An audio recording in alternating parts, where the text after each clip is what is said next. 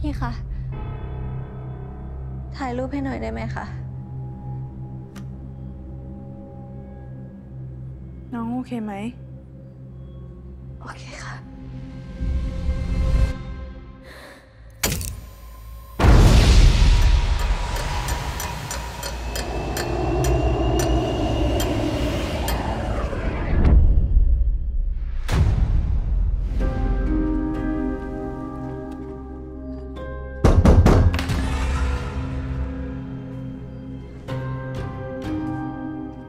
คุณสองคนรู้จักกันอยู่แล้วใช่ไหมครับ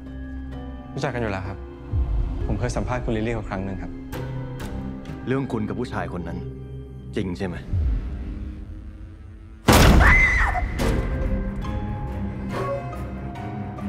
ไปเลิกกับมันซะ เราไม่ได้รักแกแล้วอะ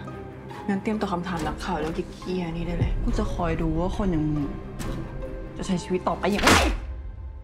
ยังไงดีอะเอ็มมือถือเครื่องนี้มันลบคนได้ใช่ปะ เราอยากให้เรื่องนี้มันจบสักที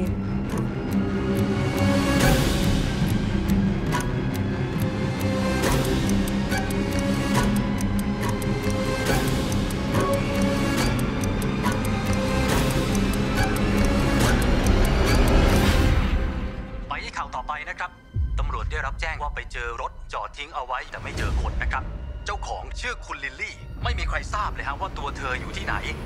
มึงทำอะไรลิลลี่ แล้วมือถือเฮี้ยนั่นอยู่ไหน